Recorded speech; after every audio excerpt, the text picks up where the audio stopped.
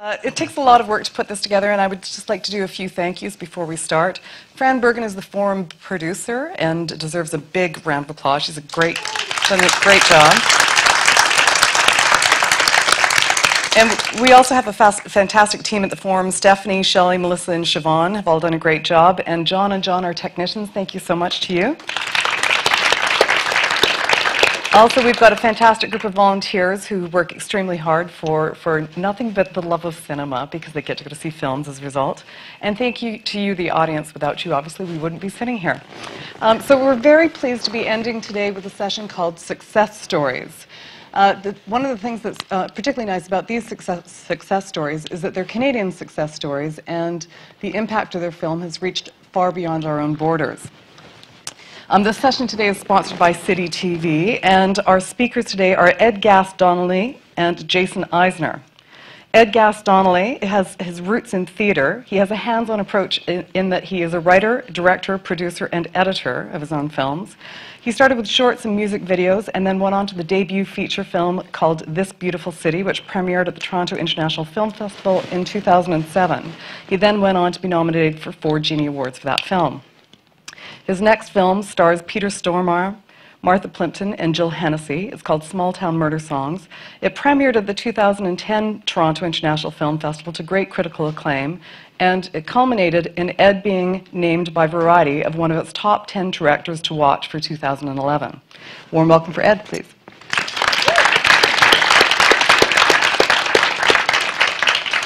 One of, these, one of the things about this session is that we're not, pro- even though they, they both have beards, they're around the same age, um, they, uh, one of the things that's completely different about them is the kind of films that they do. Jason Eisener in 2007 made a fake trailer for, um, for a film that he wanted to make called Hobo with a Shotgun. It was in a competition for um, the film Grindhouse, and was selected by Robert Rodriguez, and was, wasn't it also Quentin Tarantino, mm-hmm. um, to win that competition. And he, um, it finally culminated in him making his first film, Hobo with a Shotgun. Um, in between, he also made a very interesting titled film called Treevenge, which is a, um, details the experiences and horrifying realities of the lives of Christmas trees. From that to Hobo with a Shotgun. Um, now, to, to kick the session off, first we're going to show you um, the fake trailer uh, that, that Jason made. Um, if, is it possible to pull that one up?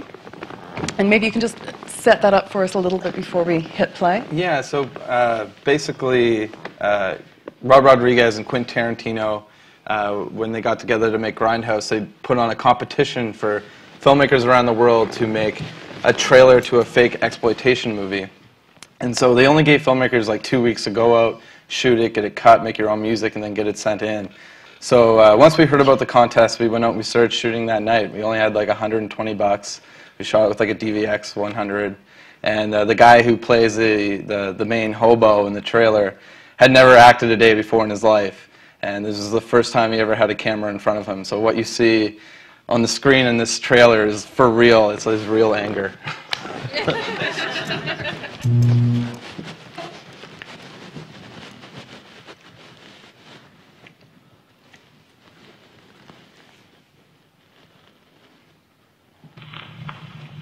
Spread the word, you dirty cocksuckers. Tell all your great Roman friends what the murder of the city. Oh, with a shotgun. The streets gave birth to a stray dog who is now fed up. Living on the streets is tough. And it's about to get tougher. You want in on this ten dollars? Come on! Violence, cruelty, murder. The streets will be lonelier because this hobo's taken on. He's cashing in his nickels and dimes for a new way of life. But getting up isn't that easy.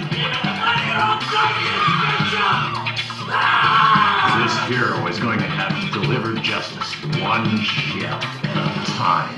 Bury the fucking money! I'm gonna sleep in your bloody carcasses tonight! hobo with a shotgun. He says, throw me the goddamn classroom. He wants answers. Who's going to look for? Police is only shooting the dirty cops. You're all dirty cops.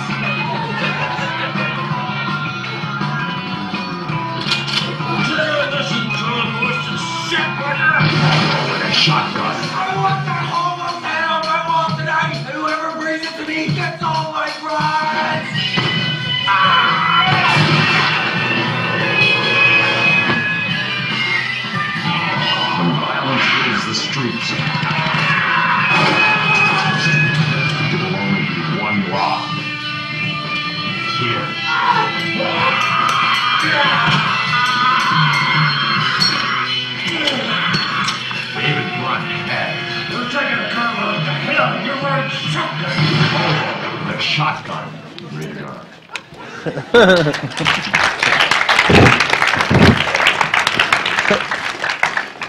Well, that got the attention of Quentin Tarantino.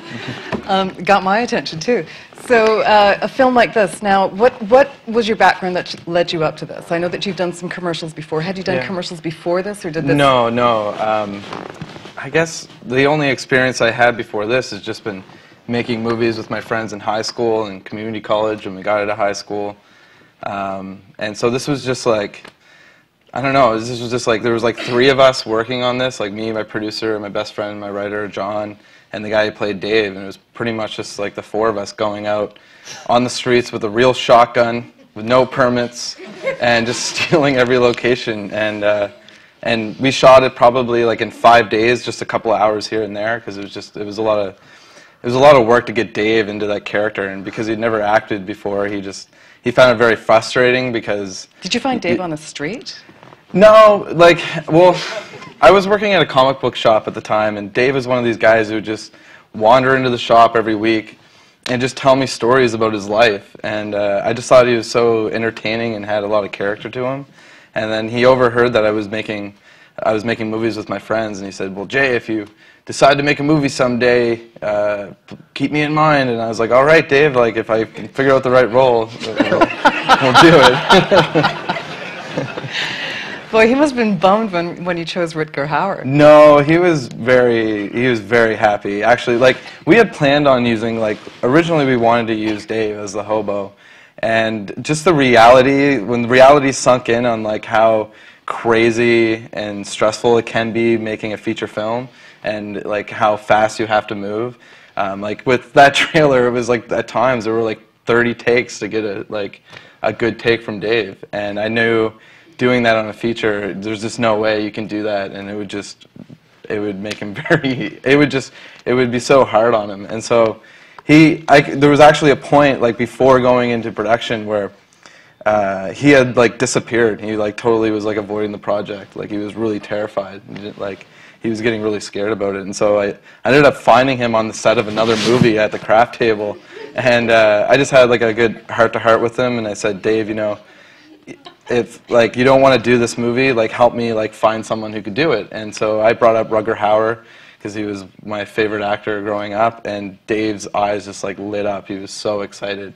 And uh, and when we made the feature film, I had Dave sit beside me at the monitor every single day, and he worked with Rutger, and most of the main inspiration for the character in the feature film came from Dave Brunt, the the man. So. Wow, well, he has a ton of energy on screen. I mean, I think he's, he's got great potential as an actor. Excellent for talent spotting, very good. Um, and, in, and also, in terms of um, setting up for this film, like you said that you worked together with your friends in high school. It's like, had you been making a lot of stuff together? or Oh, what Kind yeah. of, what kind of things were you making? Um, I, like I guess when we started, when we first picked up a camera, our first love I think was like martial arts films, and so we were just we put ourselves in them. We knew nothing about martial arts, but we just like tried to make these like really ridiculous martial arts movies, and we just made like every weekend in school. Like I remember in high school when I like I think I was in grade 11 where I was so I got so obsessed with it that we just forgot about like going to parties or anything. We just like spent every weekend and every day after class just making movies. Right, so you're the film nerds. Yeah. Right. well, that paid off, didn't it? But also too, like I think like the reason I first picked up a camera was I like I used to be really into skateboarding, and so I saved up money to buy a camera so I could film me and my friends skateboarding. And uh, I've, I am also an editor as well too. I've always edited everything we've done. I've edited edited our feature, and a lot of like where I like I take from those days of growing up shooting skateboard videos, and then I apply it into my work today is like it really taught me like how to like look at locations like when when you're going skateboarding and you want to get like a good shot of someone doing a trick you like really study the location or just look at a location as a potential for like what can you do with the location. And so I found that coming back a lot to me while making Hobo is just going to the location and starting to like dream up the action like on the location and what we could do with like the sets or the, the So locations you that were there. be more specific? Like, for instance, when you talk to us about one of the locations that you went to, and what was the surprise at that location that was a bonus? Um, I think like in Hobo, like there's this big finale, and uh, we were trying to find a location that, that could work, and and we were having a lot of time, like a lot of tough time trying to find the right place, and we I, we just found this. Uh, it was like an abandoned asylum, and behind it there was like a little alleyway, and it wasn't originally like what we had in mind for the ending, but there was a couple things there that had really cool potential, and so we we What? saw it like a couple weeks beforehand, just like there was like a manhole, like a, a manhole in the ground there. And so in the end, you see like Rutger gets put up to his like neck in this like manhole, and just by like finding this like this uh, this like location, we just instantly just started adapting to it and, and rewriting the script to work with the location. Right. Um, just talk briefly about how you work on script because um, you directed this, um, but you said that you've also been working with a friend for a long time. Who's your friend and how do you work? Um, yeah, uh, uh, who I collaborate with is uh, my best friend John Davies, and I've been friends with him since we were five years old, and so we've grown up and discovered our love for filmmaking together. And usually, like how we work is, we'll lock ourselves up in, like a cabin or like in one of our apartments, and we'll or we'll go to Ronnie's pizza pizza shop. That's like this like pizza joint that we go to pitch ideas back and forth, and we just like we just pull out paper and we just start coming up with ideas. And then when we're writing the script, I'm just right there with him while he's writing, and uh, and then he'll give me drafts, and then I'll just make notes on it, and we'll just keep going back and forth with it. so you're technically co-writers on the script. Yeah, Yeah. yeah. I, I give him more of the credit though. Like he he's he spends most of the time like in front of the computer doing it. Yeah. Right, cool. Um, so now, Ed, what about you in terms of um, your your process? So you're uh, just in, with background. Your father is Ken Gass, who's um, got the Factory Theatre in Toronto. So you're very steeped in a theatre tradition. From theatre to film, like what was the transition for you? Um, I mean, I was doing theater a lot from a pretty young age, and and I was just sort of a, I got to a point where like I I wasn't getting funding for a project I wanted to do, and um, and I didn't want to do something for the sake of. it. So I was just kind of like floundering for a year, and my girlfriend at the time, who was an actor, just kept encouraging me to go into film, but you know, for me. I, I, and it's funny because I mean, because we're f- five years age in difference, and it was like just in that within that time is like for me the difference like when the Canon XL1 came out, and that like changed Yeah. what you sort of felt was possible. so I definitely sort of grew up where it still seemed like an entirely technical medium. So I didn't like I, I had no idea how you would go about it because again, like there wasn't quite that functional di- digital breakthrough yet, and she, I just ended up, you know, sort of calling a, a sort of family friend who's a TV producer, and I ended up just working as a director's assistant on on an MOW, and it just sort of like demystified the process, and uh, and then yeah, within the next year, you know, I just sort of I made three shorts and just kind of, and, and it was actually yeah, the next year the Canon XL one came out, and then suddenly, I, my, well, we shot my first one on 35, but like suddenly once the tools became more accessible, like things seemed more possible, and you know, I just started making a bunch of shorts and then music videos and and then features. So then, when you, um, um, presumably one of the big advantages you had is that you had access to a really great acting pool because of your, you know, being in that family, being in a big theater family there. Yeah, I mean, if nothing else, I think the biggest thing is like, yeah, I mean, I, you know, if anybody's here runs a film school, they'll be mad at me. But I, I generally say like, you know, screw film school, like you go make a movie, and and especially, I mean, or I say like go like make a do a play, and that's logic because at least one thing that theater affords you that that often like especially short films don't is like time to like fail with actors, like like you, you need to make mistakes and like, and often, but if you only got like a day to shoot something and, you, and you're you're figuring you can't figure it out, like, you know, you're kind of stuck. But I think like that's the one thing in theater and is even though it's an entirely different acting style and a different process, fundamentally, you really learn how to how to uh, communicate with, with an actor and really try and like nurture and sculpt and understand and underst- understand their process. Like it's not just like I need you to like cry and have your lip quiver like just like that. I mean, it's like you know like you can't give those or I guess you can, but I mean you'll get selective results. But uh, really trying to understand like what their process is and how to best help them get to where you want them to go and to and to create like a real dialogue. And I think uh, in an ideal world in film, you've got you know tons of time and um, you can do that. But I just think from a practical point of view, I, th- I, I found that to be like the most useful advantage that I had. And um, Had you been an actor yourself as well? I, I wanted to. I was a bad actor. well, there's a lot to be learned from mistakes as well. Um, okay, so then take us from uh, when you made your, your, you said you were doing music videos and shorts, and um, what led you to your first feature from there? What was the breakthrough point? That was loosely based on a play. Like I hadn't done a play for a few years, and then I'd had one idea that I'd written when I was like 21, and, and sat on it for like four or five years, and and sort of dug it up again. And then it was it was a it was a neat process because it was the first time I'd ever written anything from that long ago, or gone revisited something and had had such a sense of. Uh, uh, objectivity, and it's like, oh, there's all these really great things that I was playing with then, and all this stuff that was just pure crap, and uh, and then started just adapting that, did it as a play, and then we felt just really, uh, just from the character point of view, we just felt there was something really um, exciting there that we should make as a movie. And so I just started adapting, you know, that was in 2004, and then just started adapting that idea. And, and then in 2006, we, you know, uh, sort of met with one of my, my, one of my best friends from high, well, he wasn't my best friend at the time in high school, but we went to high school together and did several plays together. Aaron Poole, who was the lead in This Beautiful City, um, you know, he introduced me to just a friend of his who's a poker player and sort of and banker, uh, and basically we sort of like made a pact where we were like we are trained with no breaks, and come October 16th we're shooting whether we've got like half a million bucks or like fifty thousand bucks, and uh, So, sorry, just to clarify, this poker player was a banker and was going to raise. he was a former banker. He's hilarious. No, he's hilarious. I mean, like you know, he is. He's a cliche. Like so. He, Was, I mean, did he become producer or he was? Yeah, yeah, he's a producer now. He's, he's, I mean, he, and he produced Small Town as well. He's films Lee Kim, but it was just you know he was like a banker who was unhappy being a banker and like, um, you know, put out the most cliche. and This he's was a very good tip. Anybody, any Yeah. poker players in the crowd, if you're not playing poker, get in the game. like he's the most like cliche Korean. Like he has like this horrible synth pop album that he put out. Like like he is like he did all these things that he admits is like a complete cliche and he followed like but uh, like he just he put out an album, he wrote a play, like he was just trying ultimately he wasn't happy being a banker, even though he was making a ton of money, and was trying to find an outlet for artistic expression. And uh, when we started working on that, um, you know, uh, you know, I mean, and he's, and he's producing quite a bit now. So I mean, but that ended up being, I think, the you know, uh, uh, you know, a combination of, of his skills, where you could Well, actually have sort of you know business and art mixed together. and a great deal of serendipity on your part and staggering costs as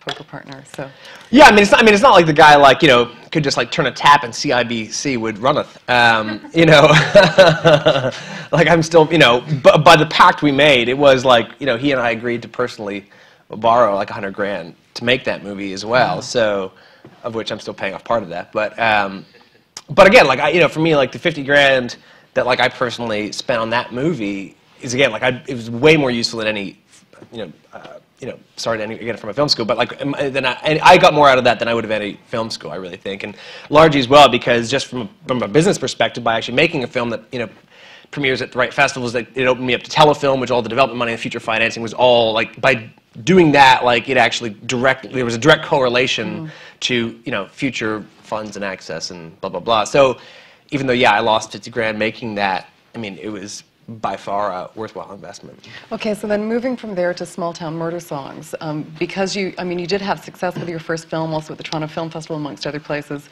How the transition to the second film was that a lot smoother for you? Yeah, but I mean, I know I, I've, I've been blessed by ignorance because if I like, uh, I just honestly, I mean, I mean, like if I actually knew what I was doing, I, I, I probably wouldn't have tried. I mean, in some ways, because I just sort of assumed blindly that we'd get money, and we did. But if I actually knew what the competition was, I wouldn't have been anywhere near as cocky as to like start spending again, borrowing money and going out of pocket. But um, You did that as well on Small Town Murder Song. just yeah, I mean, I started funding the development because I was certain we'd get the money. But I, I actually thought there was a lot more money available than there was. And when I found out like how little money But when you say funding the development, I mean y- as the writer director. No, like hiring casting director, Okay. committing to like offers on actors, like Wow. all. So um, you know, not huge amounts of money, but like you know, tens of thousands of dollars that I, I certainly couldn't afford to. That you know, it was I credit carded it, but. Um, uh, but yeah, and then you know it was just a quick process where I started writing that movie in January, and you know, and by June we went in and got money, and, and then it just we were shooting again by October. So I'm very much like I try and I don't like waiting, uh, and uh, I, I really try and create a culture of like actually making, you know, by saying it's happening, it, it makes people believe it's happening a bit more, and uh, and also just sometimes being willing to, you know, take the chance to actually, you know, lose that. You know, if I, you know, I knew going in that if we didn't get the money, I'd be out the money I'm spending. Um, you know, that said, you know, on, on this beautiful city, we did have Lee play. We all put in some money and had Lee play, go play poker, actually in Vancouver. Um, to raise development money. Uh, And did it work? he did, yeah.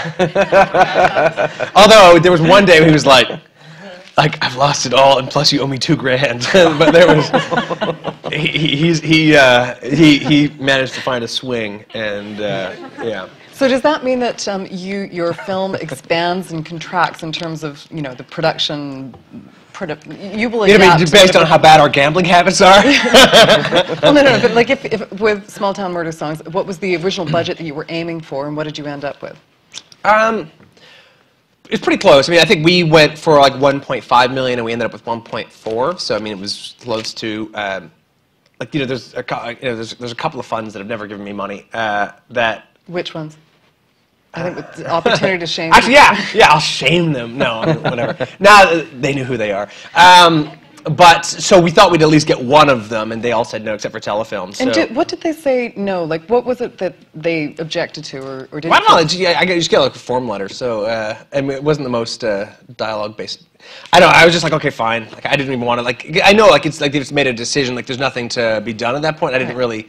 I honestly, I didn't really care because it's not like they're going to reverse their decision if I change something. So. Actually, that's not entirely true. But either way, all right. next time you'll, you'll go back to them again. Well, when you're shooting in, when you start shooting in four weeks, it's like yeah, you just figure out okay, what do I do now? Right. Um, again, because like in This Beautiful City, you know, we managed to convi- convince a distributor to pre-buy the film, um, which again I'm shocked that we were able to do. Um, Which distributor took on this beautiful city? uh, Seville, which is now E1. Which again, for such a small movie, I mean, to John Hamilton's to his credit of stupidity, because I mean, uh, the movie didn't make money, but he was talking about being a champion of like of an artist. Though I mean, like he, they came on for you know for a quarter million dollar movie that get with a quarter of our budget. And that's Um, based on the script and having seen your short film. yeah. So I mean, that's like that was a huge risk, um, and and uh, and just but you know he believed in us, and uh, and you know, creatively they were very happy with it. It's just you know it is sometimes very hard to take a small, gritty, violent, you know, movie and uh, release it in, in in the marketplace. So um, you know I think everybody was you know. You know, certainly kudos to, to him for doing that. I mean, obviously, if you keep doing that, you're not going to have a business. But it's a, but that's the trick. It's like how do you know how do you you know the art and commerce balance is a constant struggle. Um, Well, let's take a look at um, the uh, trailer for your film, Small Town Murder Songs.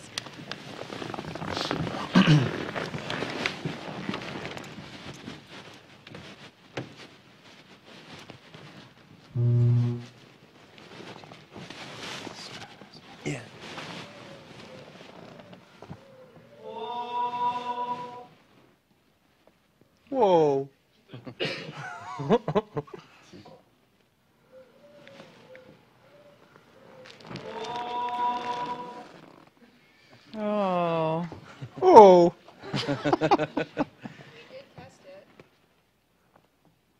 Just, uh,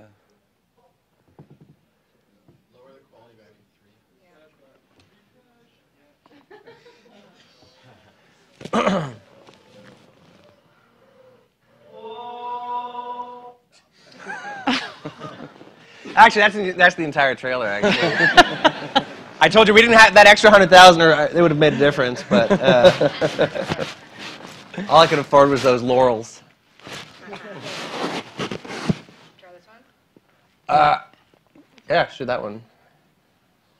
I think it's the same one. Oh, but look, it's loaded. You can see the loading bar is now actually working.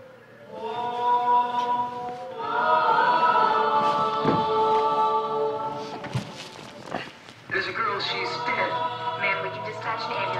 She don't, she don't need an ambulance.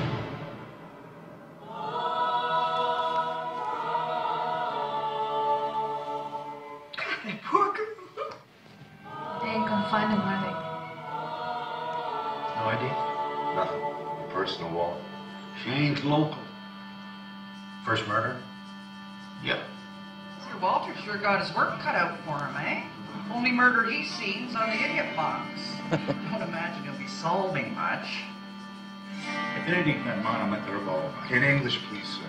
Not too fond of people with guns. Not too fond of me either. Was it you up at Point Beach yesterday morning? Just give me the key. This Steve, uh, he here full time now? Hey, none of your business, Walter. You can't go by the house anymore. You sounded pretty distressed in the 911 call. He found a dead naked girl by the lake. Yeah, I was distressed.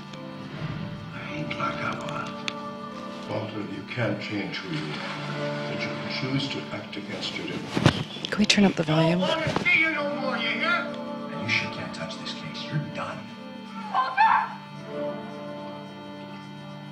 Nima. I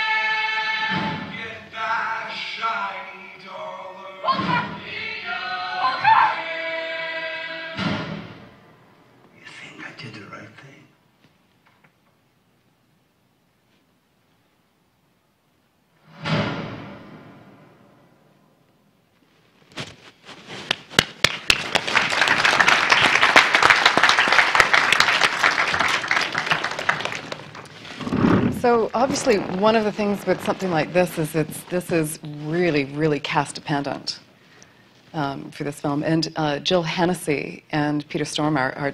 I, I mean, I think this is one of the best things I've ever seen Jill Hennessy in. And Peter Stormare is just such a fantastic character actor. Can you talk a little bit about how you got that level of talent in your in your second feature? Yeah, well, certainly wasn't because of, because of money. Um, but because you know both those guys, you know, came out you know, for, for, for very little money. But you know, it just I think sometimes you know I think material is is is kind of the biggest strength you have. Like I would. I, I find it would be such a hard position to be in, like being a filmmaker who didn't also write. Like if I was just looking to get hired or just trying to find scripts, that would be such a a brutal process, I think. But like you know, the power you have is when you ge- can generate your own material. So, and especially, I, I think there's something for me really interesting about um, casting people against type and offering them roles. I think it's just a just much richer just from a creative perspective, but also gives you I think a better chance to actually get them to do something. And so, I mean, Peter.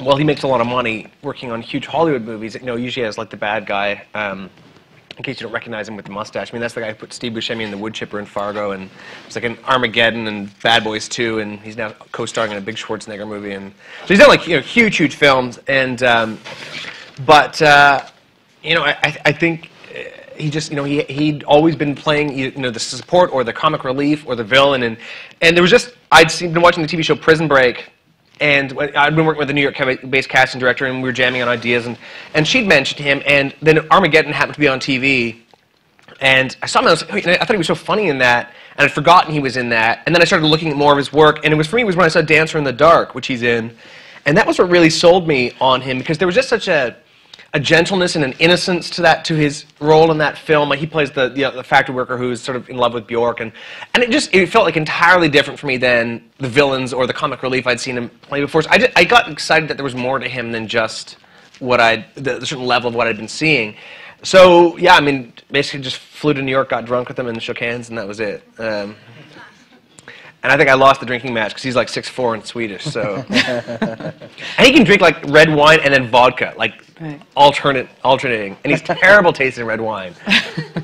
Um, and Martha Plimpton. It's funny. Martha was the first person I thought of for that role, but then you know sometimes you walk the path of le- the path of least resistance, and man, I'm actually now blanking on her name. She won. She was nominated for an Oscar. Another Swedish actress, and it was just a coincidence because Peter knows her, and I think they they worked together on something. I'm completely blanking on her name. Uh, yeah, but anyway, so you know, he was like, you know, because of that personal connection with them, I was thinking like, okay, she'd actually be great, and that looked like that was going to happen, and then fell apart at the last minute, and then I ended up getting Martha. So it was this one thing that I ended up circuitously getting the, the first person that we wanted, and it was just you know making an offer, and she just you know she'd been doing a lot of theater, uh, you know, she just like had like her fourth I think Tony nomination that year, but so she was just happy to, but she'd been doing TV and, and theater a lot, so I think she was happy to do a movie, um, and it just was the timing worked out. And Jill Hennessy, because I mean, one of the things is you're Canadian. Obviously, one of in terms of triggering some financing, you need to have some Canadian stars in it. Jill Hel- Hennessy is mainly known for her work on Law and Order, and um, but she's been in a lot of other things. Um, was that an easy get as well? Well, you know, it's funny. I actually didn't know Jill was Canadian. Um, I was at the film festival, like you know, I guess a month and a half before we were starting to shoot, and um, a friend of mine, Ryan, we were just, I was at a party, and I was just saying, like, yeah, I mean, I need to figure out who this because you need it's like the in order to be sort of CanCon, the, the second highest paid actor has to be Canadian. So either that means like me bumping up. you know, Aaron or something like figuring out depending, but you know, you know, but also you're trying to put as many sort of recognizable faces in a movie just from a business perspective as possible. Um, and he was like, "Well, what about Jill Hennessy?" And I was like, she? Oh, she's Canadian. I didn't know." that." And he's like, "Yeah, I'm, I'm actually close friends with her." So he texted Jill on the spot and was just like, "Oh, there's this great filmmaker. You got to check him out." And then you know, we just followed up from a business perspective and sent her the uh, you know sent her my first film, which she really liked, sent her the script, and it, it actually you know we just spoke on the phone and that was kind of it was that I don't want to say it's always that easy, but that would just worked out like it was just a perfect yeah. Right. And then in terms of the um, the investors for um, uh, for your second film, did you, did they have certain um, cast that they had in mind, or were there any pressures on you? Well, I mean, the, the biggest pressure was because because I don't like to wait. Uh, was like you know, the bond company was like a bond's never been closed this fast, and like they were, uh, you know, who was your bond company?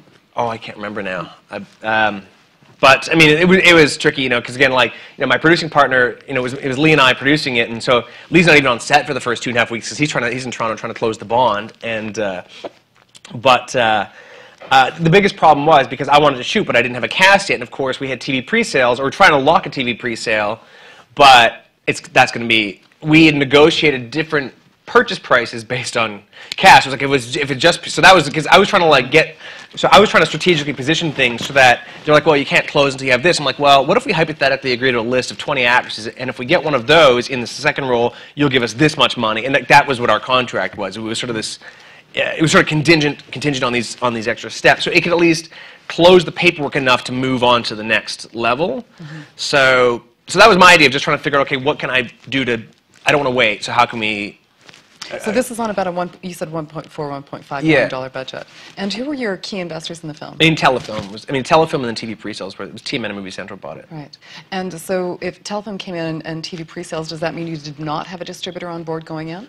Correct. I mean, we, or sorry, we did, but we, we had a deal where because we also didn't want to, you know, the, the deal was say like when it was Seville, you won. They also handled international sales. and We wanted to hold that back. So. Um, Sorry, we- you wanted to hold back Canada. No, sorry. th- Uh, for this, we wanted to hold. We didn't want to give away. We didn't want to go with the distributor where we would be giving up our international pre-sales yet, because we wanted to finish the film and actually we felt like we could do better that way. Um, but uh, well, I mean, who knows whether that was the case or not? But um, so Kinosmith, you know, who had just I think Yeah. been, you know, um, was just sort of been approved to sort of be a. Uh, uh, like a pre-approved distributor with Telefilm, so I think we were their first film through going through that fund and, or through that way. Um, so they were our official distributor. So, we, we, but again, you know, we, we didn't ask them for any money, but that also bought us certain creative freedoms. With So then you did have uh, um, Kinosmith on as your distributor, and the TV sales that the advanced TV sales that you made were not part of your budget. That went against your um, Canadian distribution advance. well, no, we didn't ask them for an advance, so that was part of the deal. Is we kept our own okay. pre-sales, Right. but it also just meant we had to cash flow our pre-sales. Okay, and then so that uh, you held back international, and then international was something that you went out to after. Correct. the, yeah, The and, and, and we're still in the midst of, you know, and our sales agent is still. Who's your sales agent? It's uh, Visit Films out of New York. Okay, great.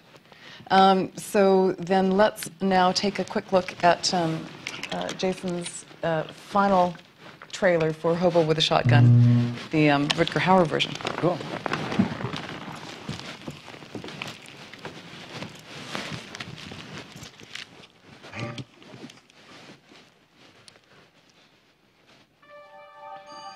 I used to be like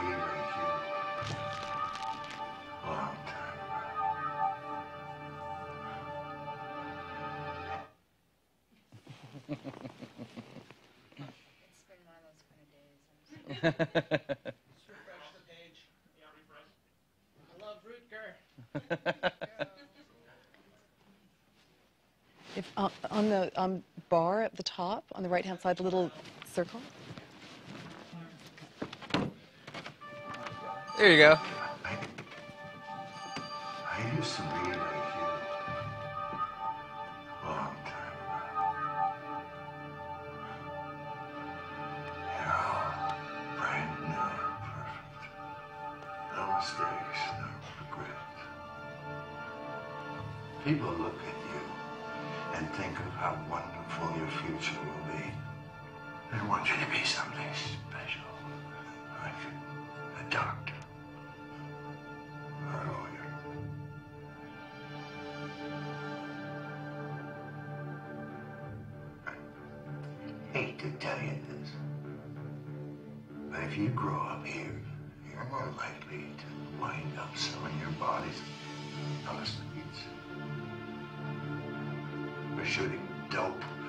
dirty needles in a bus stop. And if you're successful, you'll make money selling junk to crackheads. They won't think twice about killing someone's wife. Because you won't even know was wrong in the first place.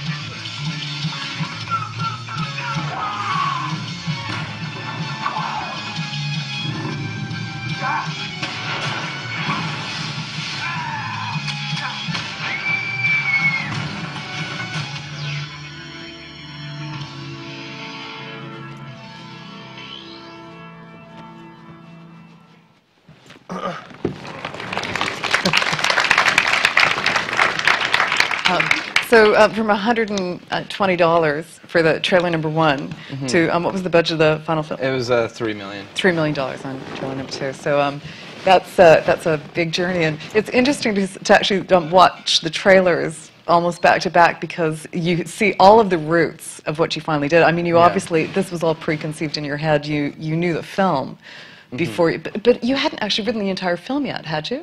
When you did the fake trailer, had you written? the- No, no. When we made that fake trailer, we basically, like I said, we kind of like when we heard about the contest, we went out and we started shooting that night, and so we pretty much just like got together and kind of came up with like a little treatment as to what we thought the whole story would be, and then kind of picked out the best moments that we thought would be really cool for the trailer.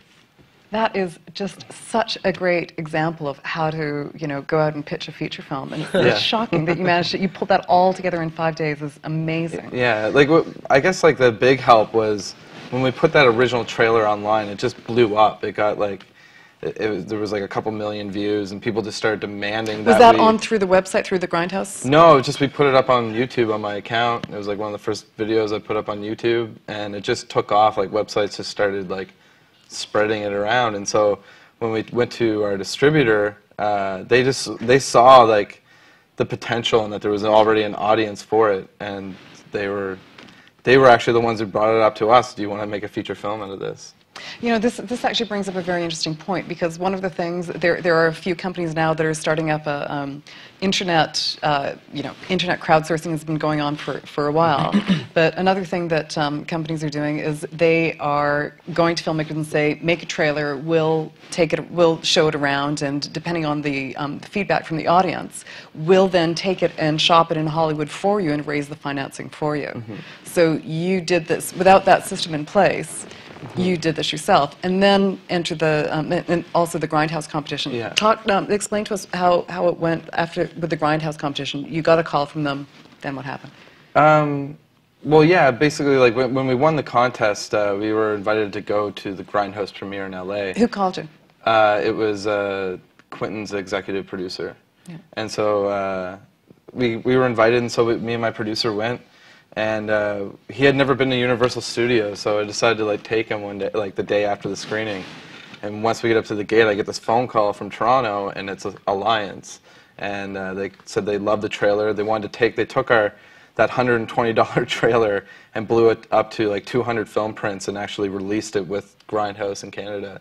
And they said, well, we're also interested in turning this into a feature film. Would you want to come up to Toronto and meet a producer? And so we went up to Toronto and met a producer by the name of Niv Fichman from Rhombus, and we just hit it off and started developing the movie. So they saw it. They approached Niv. They brought Niv, brought you and Niv together, and you went from there. Yeah. And was Niv the driving producer on the film?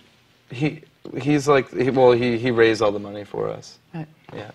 And, And was he involved creatively? Because this is so. Oh, Niv yeah. Fichman produced um, the Red Violin, and you know that's that's really the kind of film that Niv Fichman produces. Yeah. So yeah, well, um, mean, from the he- sublime to the ridiculous. he- I don't know. I think there was just like, um, a part of him that just kind of wanted to like let loose and get crazy, and so when we like gave him the script. He just he would uh, he would bring ideas too. Like we just totally left it open for anyone to bring ideas to the table, and so he just opened up his sick mind and would pitch us ideas and work some of them in there. And All right. What was his sickest idea? Oh man.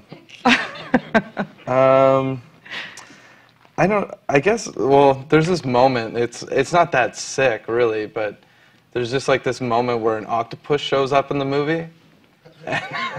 Just random? yeah, this like random octopus. And he's def- that was definitely one of like his ideas. So next time you think of Niv Fichman and Red Violin, think of the octopus. Um, okay, so then, uh, um, so you made the film and Rutger Hauer was in the film. How many Yeah. days did you have to shoot it? Um, we had, uh, I think it was, we had 24 days of like principal photography, and then we also just ran out with the T2i with a couple friends, and we just went out for I think like two days after that. what's and the grabbed- T2i? Oh, the Canon T2i. It's like a $700 uh, SLR camera. So did you shoot the whole thing on digital? Yeah, we shot with the red camera with the Mysterium X chip, but then we for like our C camera we used this like $700 Canon camera that was great. And so when we finished the film, we still had a bunch of like little pickups and things that we wanted to shoot. So we just got like our our crew together and just went out and grabbed a bunch of crazy stuff. So that you said you had a C camera, so you had an A camera, a B camera, and Yeah. a C camera, Mhm. and um, then you had three DPs on set. No, three I just camera operators. Um, yeah, I like. Well, we had uh, Karim Hussain, who was my DP, but also like a camera operator, and Jeff Wheaton, who is my DP on uh, a short, the the short I did called Treevenge, and he worked B camera, and together they worked together, and then. Uh, the guy who was shooting the, the making of documentary, he was another one of my best friends. Uh, I would just get him to pop his camera down whenever we thought we might need a third angle. So now this is one of the things that um, I know that you did on your film, and that's something that we've been talking about on and off over the last five days. Is about okay, so you make a film, and the way people now see films is they see them on a, an iPhone, they see them on an iPad, they. Mm-hmm. It sounds like an ad for Apple. They see them on an Apple computer, and they, you know, they see them um, in a theater. They see them anywhere, anywhere they want to see them now. Um, so, uh, but the other thing is that in order to get the word out, there are traditional forms of advertising, and things have changed dramatically now. Um, I know that one of the things for you is because you actually you launched with this trailer online. Um, you had a different way of staying in contact with your audience. Can you talk a little bit about your philosophy about that and what you did? Yeah, I guess um, because I, I wouldn't have made the feature film if it weren't for the online support that we had and people just demanding that we make the film. So I thought it was really important to like make this film for them, and so I tried to keep them.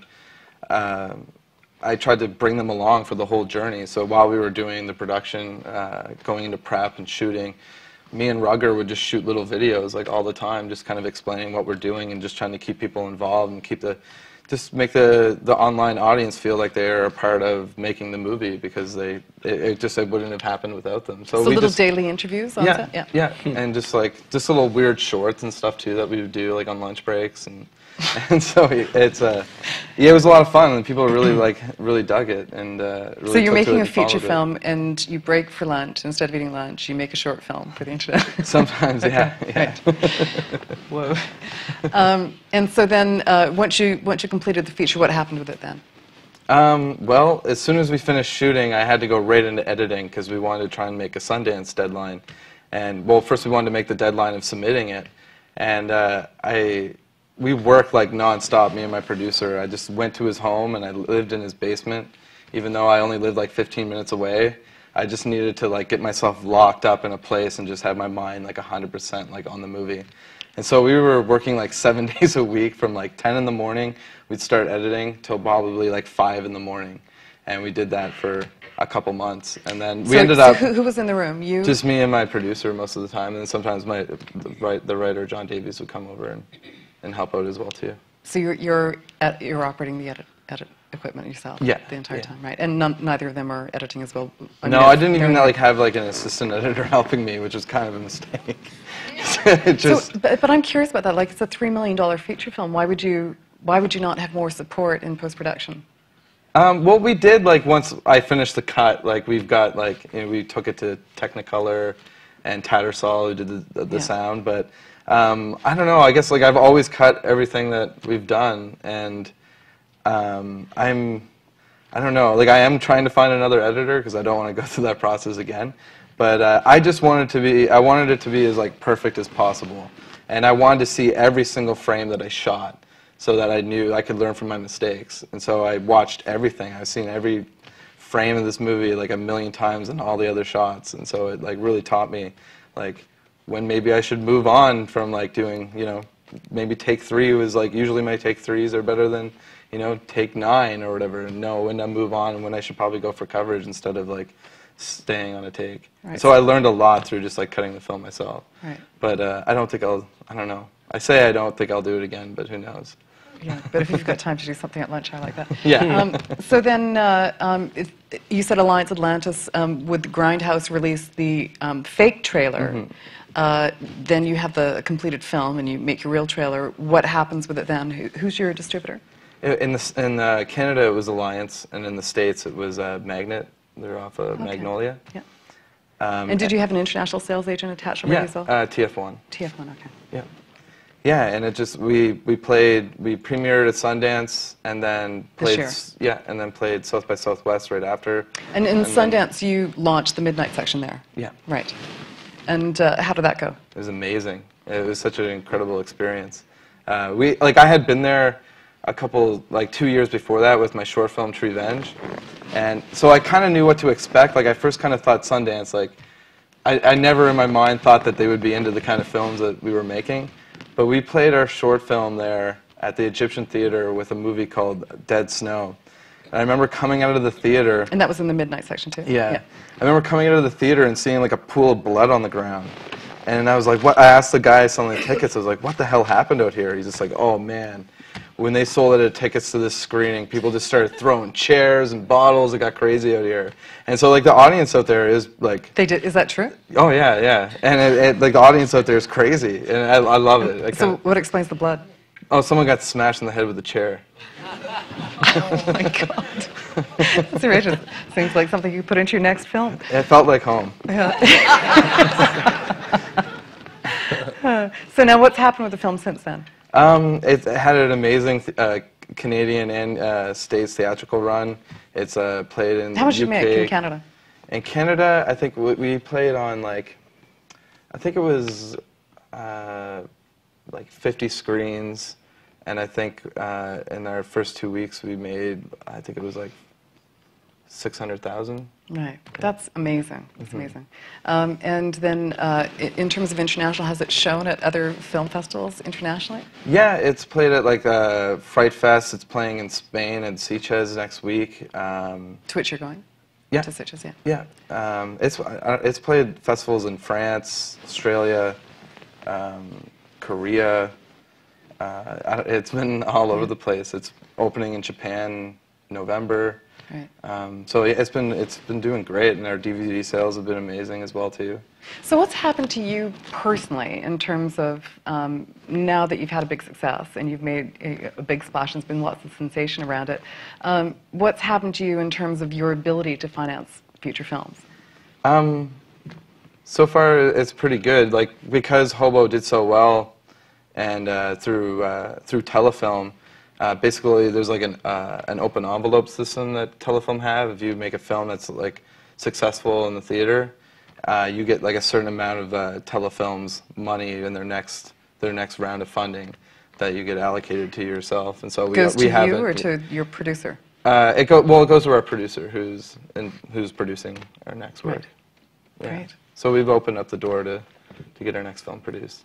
Um, okay, and so then now um, over to you, Ed. In your case, uh, you were named by Variety as one of the top 10 to direct, directors to watch for 2011. That's um, not just Canadian directors, that's international directors. It's a, it's a massive, massive coup. Congratulations on that. Thank you. Um, and uh, to me, I think that's the kind of thing that suddenly the eyes of the world are on, on you in terms of people who are interested in, in finding new talent. Um, the, the tone of um, small town murder songs is, um, your, your films are clearly totally very, very different. Um, the um, small town murder songs is, is something that is um, uh, even though that obviously there's there's a mystery to it and something that happens in it, and um, it really focuses very much on the character, the the individual characters and what happens to them and their relationships. And uh, um, Peter Stormare, I think, um, I mean, all of the, the, the actors in your film I think are great, but Peter Stormare really, really carries the film in terms of the emotional jour- journey that the audience connects to through that. So has that affected the kind of, because you now have an agent, um, and who's your agent, agency? Uh, ICM. ICM. So um, they, they approached you, how did that all? Yeah, I mean, you know, it's funny. Like this was like it was such a slow burn. This movie, like we premiered in Toronto, but I mean, we got kind of buried. it. Like no press really came out while we were at the festival, and then like we got this like insane review in Variety, but it came out like I don't know, like the day after the fest. So it was like, and then so you're, you're like, but everybody's gone home by then. So it was like, and then the other reviews started coming out, and and you know, it was just this funny, weird coincidence of like. I went to this small festival in North Carolina, that, and I only went there because I loved their graphic design. like, it's called Cucalorus, and like I loved the design. Like they had one of my shorts had played there, and they invited me to come. And I was like, well, they just seem like you know. I basically was like, because I'm a, a graphic designer as well. I was like, they look like they'd be fun people because I liked the aesthetic of their design. So I went, and on the most cutest route, I somehow got them to fly me for free to via LA, even though like North Carolina is nowhere near LA. But and it was this one sort of thing because I went there and ended up hanging out with this one guy who I'll come back to in a minute. But it was just this thing where so I ended up going to LA and having lunch with Steve Gaydos from Variety, who was a huge fan of, of my first film, even though like Variety, the critic there had panned it. Um, so it was just a funny thing. We were just talking about like you know the release strategy for the film, what we were doing, and how we'd gotten this great review in Variety, and he hadn't seen the movie yet. But he, he just sort of was like, "Oh, I want to suggest you maybe for this thing."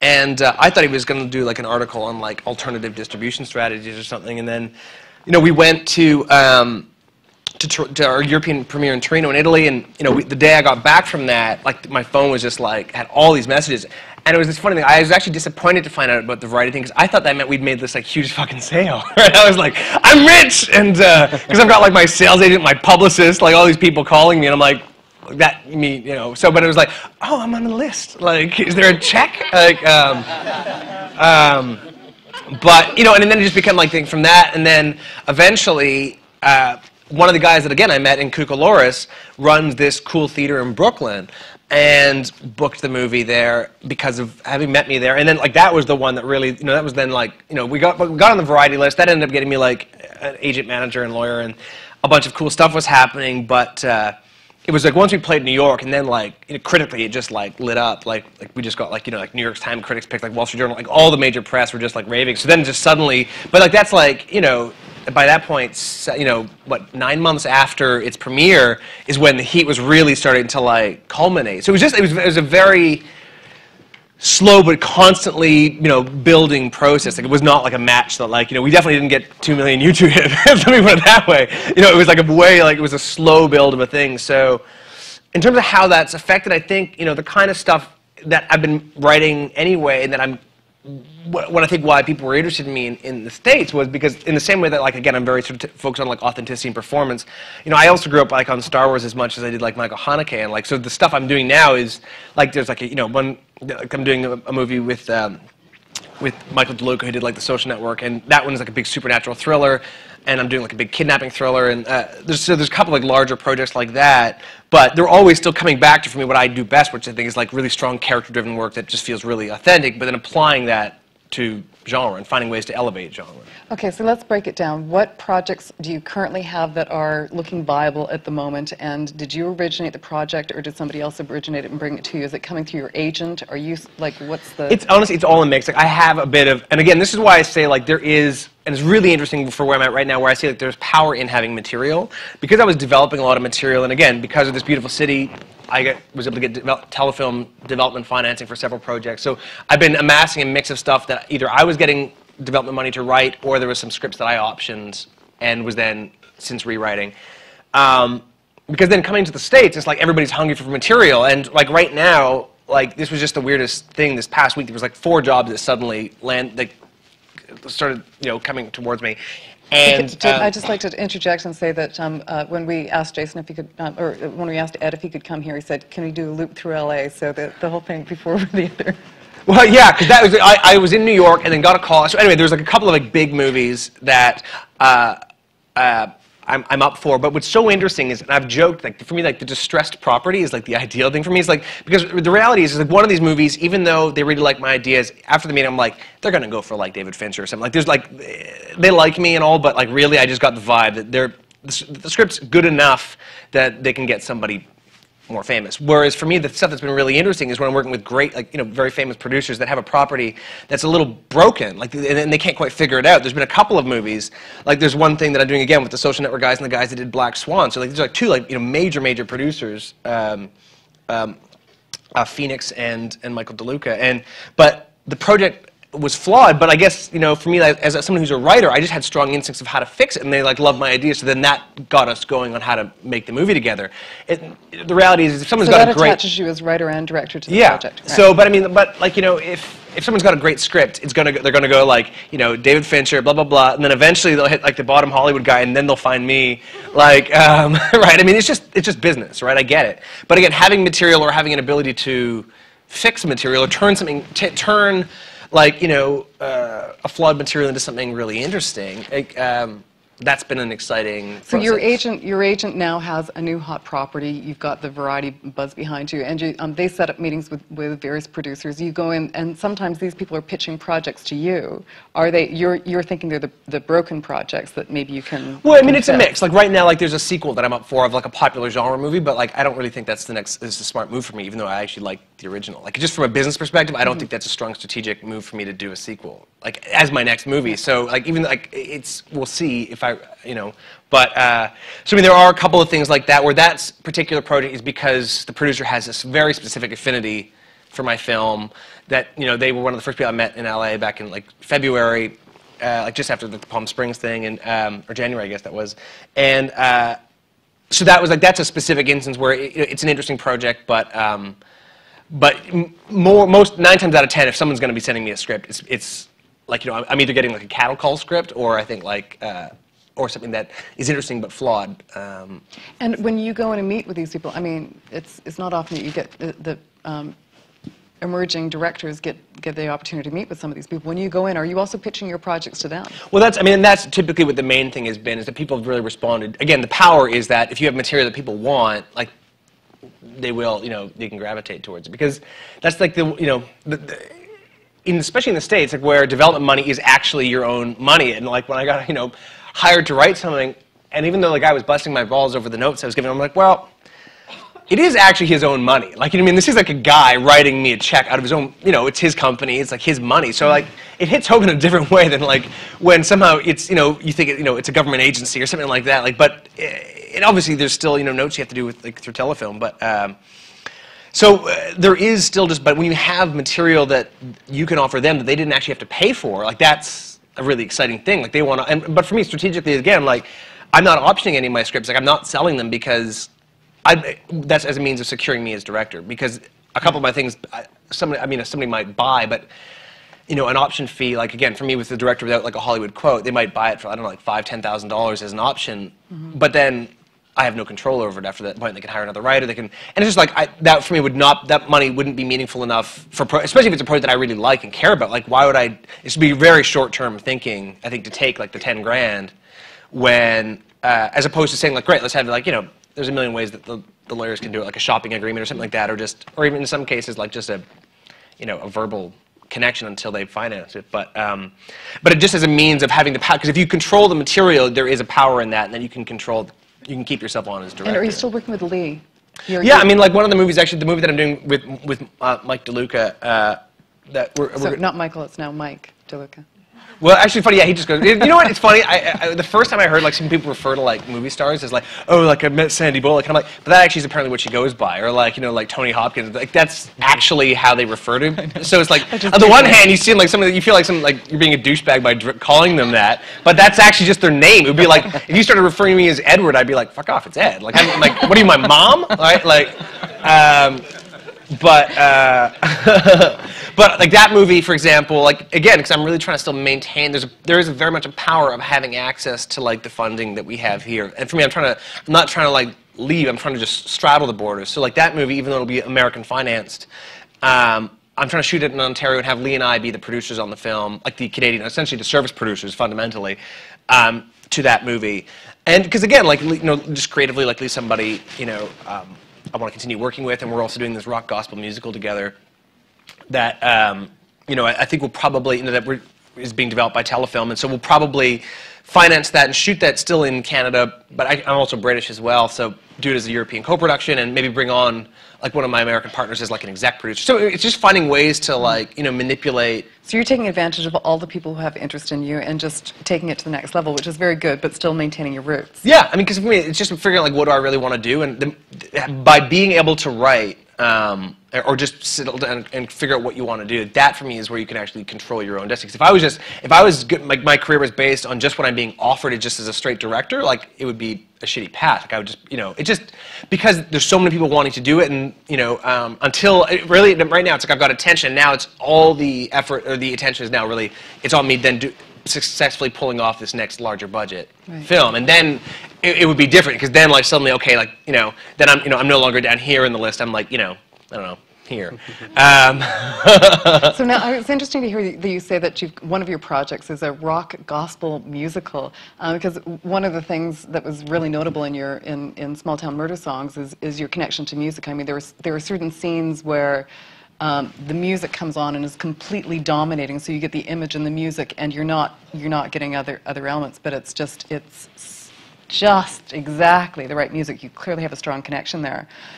Rock rock gospel musical is just a, a wild Yeah. I never really, I don't really like musicals. Um, and until I saw the movie once, and that movie changed, like made me think like, ah, like that's, cause I, often for me again, like trying to find like rooting stuff in character and authenticity, I have a hard time figuring out why people break into song. But if it's within the context of uh, people being singers, like that for me was a way, like I just loved, it was so like just that simple, slow handheld push in on that guy. I remember I was like on a flight to Brazil, and I was just like in tears. Like I was like all, getting all choked up, like watching the first five minutes of that movie, and I'm like, why am I like crying over a busker? And it was just like, but it was just like such an emotional, like rooted performance, and just was captured so simply. I just thought it was so that yeah, that made me get inspired about trying to figure out like what would my take on on a musical be. Right. Um, let's talk a, a little bit um, about uh, with a Shotgun and, and branding. Like, as a director, um, now that you've done something like that, and because it, it made such a hit straight out of the gate, um, are, are the discussions that you're having all about that as a style? Is that, does that, um, do you imagine that film as something that will define you for a long, for a career? Uh, probably because it's the film that I wanted to make. It's it's very reminiscent of the films I grew up making. Um, so I, I I don't know. I, I hope to continue making some films like it, but it's also a dream of mine to make a really cool kids movie, uh, like a movie that could get inspire kids to get away from their computers. I mean that wasn't a kids movie? it is actually. Hopefully, it's very much a kids movie. Like, although kids shouldn't see it, but when when I was making the movie, I really found myself like when making decisions. I'd always refer to like the 13 year old inside me, and I'm like, "Would you dig it, boy?" And if it's like, "Yeah, go for it," then I'm like, "All right."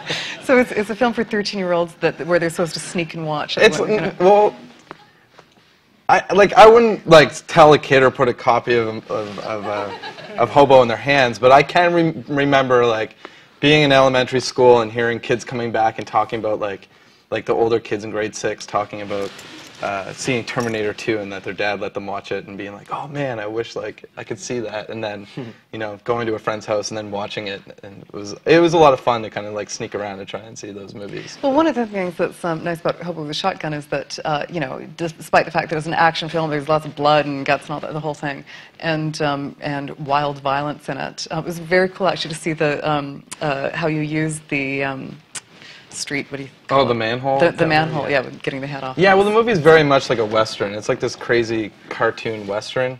But he's so- actually a good guy. The hobo, is- I mean, Oh it yeah. seems like. Well, it's yeah, and it's also yeah, he's like a, but it's also kind of like a tragic story where he kind of like becomes this monster through his journey.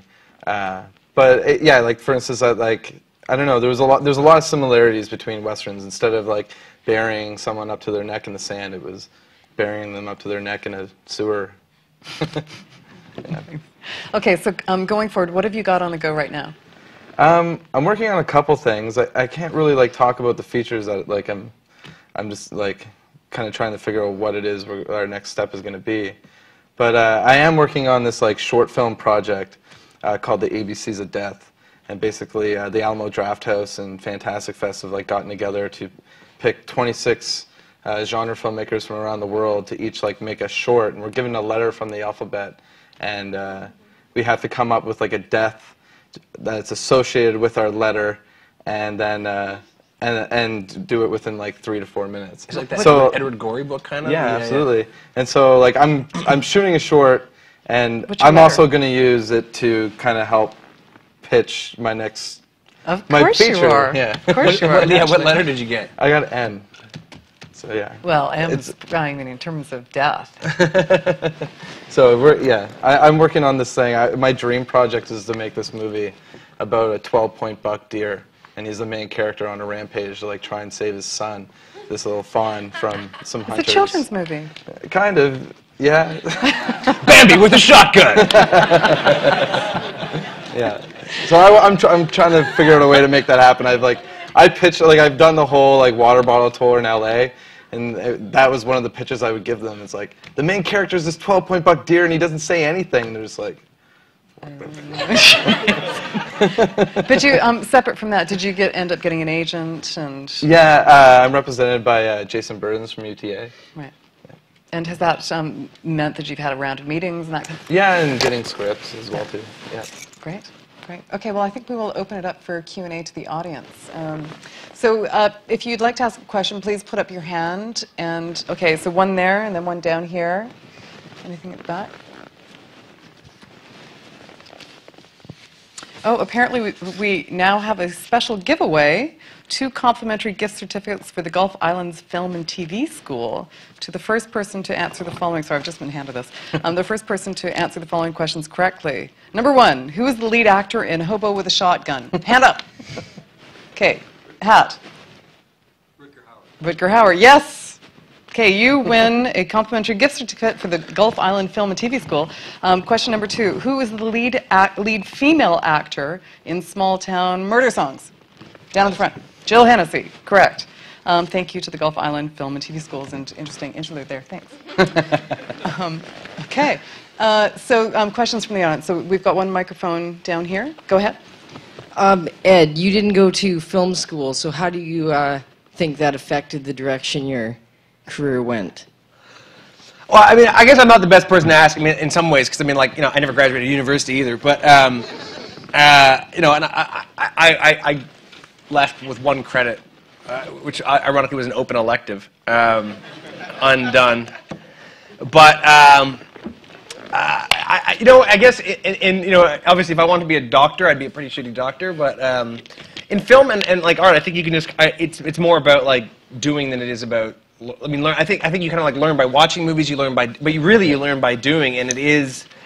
I, I, I don't know. I think with the tools available to people now, I mean, like you know, again, like you can you can learn to edit. You know, you can download demos of any of any software, or, or you know, there may not be one or two illegally downloaded programs on my computer. Um, but um, so I don't know. I mean, it didn't it didn't affect me, and certainly in any negative way. And I, I just don't think. I mean, I think sometimes like you know, it's funny because I actually got turned down by the CFC um four times, um, and then they then they started bringing me in to speak to their students, and um, and uh, Did you start by telling them that story? well, I said, yeah. I said I can't. And then, you know, I, I, I said I'm not gonna like, you know, shit talk you guys, but I'm gonna be honest that like, you know, I don't necessarily uh, think you know this is the be all and end all way to, to learn how to make movies. But um, uh, so yeah, uh, I, I think really it, it, it just is about doing stuff. And I think the one problem sometimes with those with schools at times is it can sort of teach you to work in a way that doesn't actually exist when you're like right out of school. Like, I mean, you can learn how to work like on a Hollywood movie in some ways, but like and you know, it's great in some ways, like the CFC thing where they, they give you like essentially like a hundred grand to make a short, and it's really like a calling card.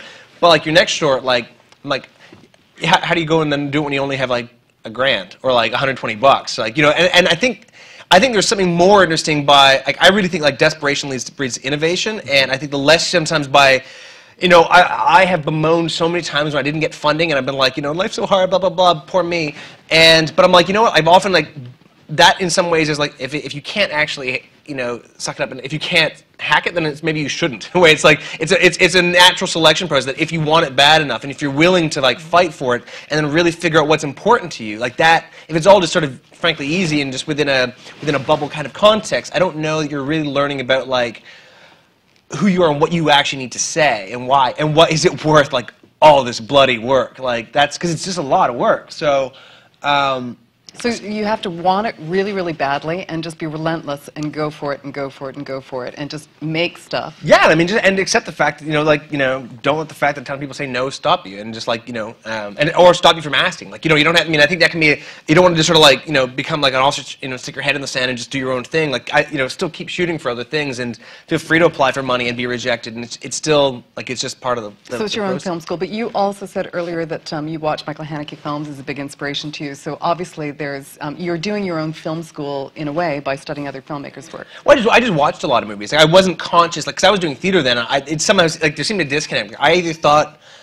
and, and you know, that's just me being like a snobby theater director um, at the time. That, like, you know, either either like I was going to do end up that there, there was no sort of natural brink between like doing sort of like theater and somehow getting to the films. It was like you're going to do like crappy TV or something. Like that was the only thing that seems like like you know, or like you know, the idea of somehow that you're a sellout if you're doing something like that. But as opposed to actually just being a natural form of artistic expression. But that was really just out of an ignorant, again, me coming out of theater school kind of point of view. And, and I think it was largely based because, you know, especially because I was dating a lot of actors, um, you know, you look at the material that sometimes actors are like to make their living. It's like you know, sometimes they're auditioning, you know, for you know just the most horrible things. So I sort of had an idea that like the only way to direct movies would be to like to be doing film would be to like doing the kind of stuff that my you know girlfriends were auditioning for, which you know Right. is horrible. Right. Okay, uh, there was another question. Somebody who's got the microphone, Right go ahead. Thank you. Yeah. Um, to both directors, um, since uh, especially being self-taught, Ed, are there any specific techniques or exercises or things you did to practice teaching yourself the camera techniques? Um, I don't know. I guess like uh, for me, like when I when I got out of high school, I went to like a community college, and it cost like less than two grand a year, and I like more than made up for that tuition and just taking out all their gear like in one night. And so I just used it like as an opportunity to take the gear out as much as possible. And it was like they just they taught us how to use the camera and how to do all the technical things. So I learned how to like camera operate, how to light, grip, gaff, how to do, how to record sound, how to mix it, how to edit, and so I, I, I just learned how to use everything so that when I got out of that two-year program, I could just go out and make a film for nothing on my own, and just that's I, I pretty much just I kept I kept shooting everything that we we were doing. Uh, I think the only thing I haven't really been involved in shooting is the Hobo with the Shotgun feature film. I kind of gave it up to uh, my DOP, and uh, so I could just kind of concentrate on working on with the actors. But I think uh, like growing up using the camera a lot just really prepared me to know like where to like put a camera and how to like make the, when's the right times to like make the camera move, and uh, it just made it a lot easier for directing my DOP and camera operator. Just um, I, I'd, I'd get there, I know where I want the camera, what to, what to do with it, and then they could just go ahead work on that while I could spend the time working with actors. And I think I think you learn a lot by putting the camera in the wrong place. Um, I mean, it's true. you you learn. I mean, you learn more by your mistakes than your Yeah. successes. Like, oh man, it really. You know, that was a. I was just trying to be smart, and that really sucked, right? You you learn, and that. So just from a technical perspective, by just doing, uh, it's not an intellectualization. It's actually you can just see for yourself it works. But I mean, the one thing that like I come back to, or I've come back to like twice now, and it's, it's just a great, great book. Was and again because I came to directing at least for me, like more from an editing perspective, I guess, in terms of how to put together a movie. And there's this great book called The Conversations that Michael Ondaatje wrote, and it's conversations with him and Walter Murch. And I read that when I was cutting the first short that I cut entirely on my own, and it blew my mind. And, and then when I started cutting my first feature, I read it again, and I was amazed at how much like I, you know, I read that book again and just how much new things I got. It just was so inspiring. Just sometimes like getting into like the psychology of like what it means to cut and to make a cut and how that just actually affects people on an emotional level to go from one shot to another and just really thinking about like why am I doing these things? Like what not just from like why am I making a movie in, in that kind of sense, but like why cut from this to this or like why not stay in this shot and hold it and have it create a, ten, like, a sense of tension and learning that by holding a shot you actually can maintain tension longer and uh, and it, Walter Murch is just great. Like he did like you know Apocalypse Now, one two of the Godfather movies, or, and he play, plus he's like a major. He's interesting because he's both an editor, picture editor, and sound editor and, and mixer.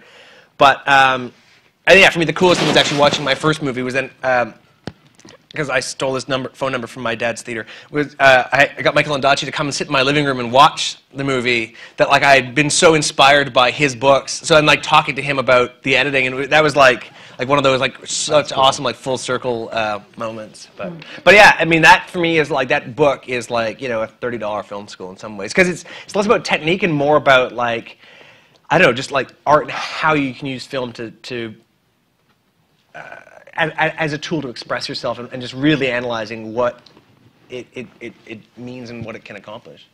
Um, other questions? Uh, any questions up top? Well, go ahead. Um, so one there and then one over there. You're next. No, wait. You're next. This gentleman's going first. Go ahead. Just really quickly, uh, Ed, how are you going about choosing your DPs on these projects you have coming up? Um, for the future ones, I mean, like, uh, I, I mean, Brendan Steacy, who shot Small Town, um, I want him to do uh, Lavender, which is the one I'm doing with with DeLuca. Um, beyond that, I mean, I'm sort of it, it, it'll depend on again where we shoot them as well. Like I. I've always sort of said, you know, I mean, like I joke like, like with Lee, my producing partner, that you know we have a non-monogamous relationship. So I mean, and I kind of feel that way. Like, I'm like, you know, you don't marry the first girl you date, so I wouldn't like commit to the first DOP I work with either. So you know, I've really worked with like you know a couple so far, and I'm interested on the one hand to still maintain those relationships because there is something really useful and important about having a short of hand with people and just people that you know and trust creatively and, and also that trust you and like so when you, you ask for something that they disagree with they'll at least have a positive dialogue with you about it Mm-hmm. but that said i'm really open to like you know working with other people and, and there's so many dps whose work i love and respect that i'd love the chance to uh, just to, you know spread out too and so it, it really will at least you know for sure at least one of them is going to be brendan and then beyond that it'll just depend on what movie we do where Go ahead. So this question is about writing, and um, I direct and uh, produce, but um, I wouldn't consider myself a writer. But then I realize, the more I do this, how important it is to be a writer, right? And how important it is for a director to write their own things, um, for many reasons. Um, so you know, I just want to pass the mic to you guys and give me your opinion about that. Um, I guess I don't know. For me, with my experience, it's just been. I don't know. Like making a feature film is such an emotional roller coaster, and it's like writing it, like and being part of like creating the character, just gives you that. I don't know, just that inner love for it in a different way that like you're gonna spend. I don't know, like when we were making Hobo, I was getting maybe like two hours a night of sleep, and so it just like that's you. You need to be in love with it. You have to be willing to like die for it in a weird way, honestly. And so by being like that close with it and that it's coming from you, it's uh, it makes it a lot more easier for you to do it without any sleep. And yeah.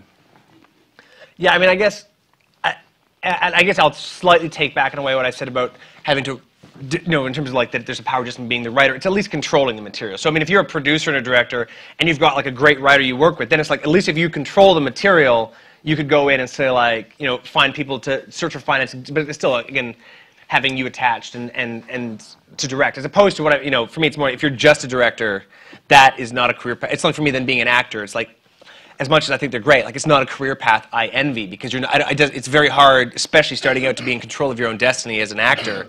Because just in some ways you just want to take, get a chance. So at least with the director, you know, you can make your own, you can write it, you can just take a camera, go make something. I, you know, I could never, I can't just be a, waiter. Like I can't, for both sense of the words, I couldn't be a waiter as a career, and I can't just sit stand waiting. So, um, but uh, like, so I, I, it's a very different. Um, position to be in. So I, I- think you know it, if you've got stuff that you're developing, or like a book that you bought or a script that you bought that you really are passionate about, you just have just as much power as a writer who's or as a director who also writes. I mean, Presumably, I mean, the other thing is that there are a lot of people who are actually extremely talented writers, but directing is not their thing. They're not that good at working with people. And equally with directors, there are some people who are really good with people, but they just can't put it on the page. Well, and just So- because I direct, direct, write, edit, produce doesn't mean I actually should. I mean, like, like I'm not necessarily, you know, I can't do all of those jobs well. Like, I usually start dropping the ball on something. What's your biggest strength out of the three? I don't know. I mean, honestly, probably directing. Uh, actually, uh, yeah, I would say that. Um, I, I actually am very. I, it's very hard for me to sit down and actually focus as writer or editor. Like, I can't.